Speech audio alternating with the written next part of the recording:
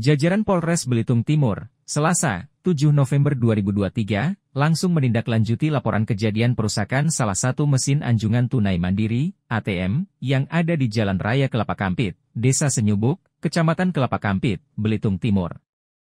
Polisi langsung melakukan olah tempat kejadian perkara, TKP. Belum diketahui pasti motif dan modus pelaku perusakan ATM tersebut. Pasalnya hingga kini polisi masih terus mendalami kasus yang membuat heboh warga Belitung Timur itu. Kami melakukan tindakan olah TKP dulu. Pendalam terhadap petunjuk-petunjuk juga, baik itu berupa motifnya dan modusnya yang digunakan oleh pelaku, kata Kasat Reskrim Polres Belitung AKP Fatah Meilana. Sementara ini polisi sudah melakukan pelis lain terhadap area ATM tersebut. Sebelumnya akibat dari kejadian itu mesin ATM tersebut mengalami rusak berat.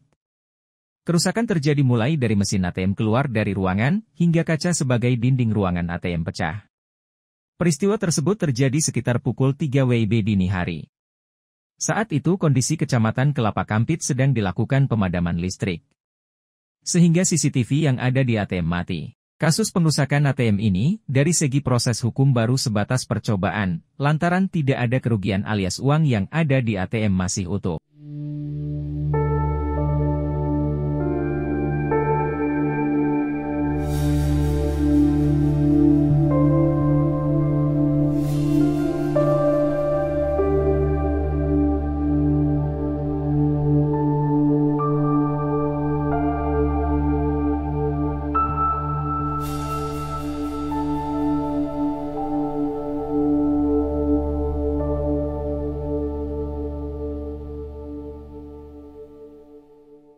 Download Tribun X sekarang.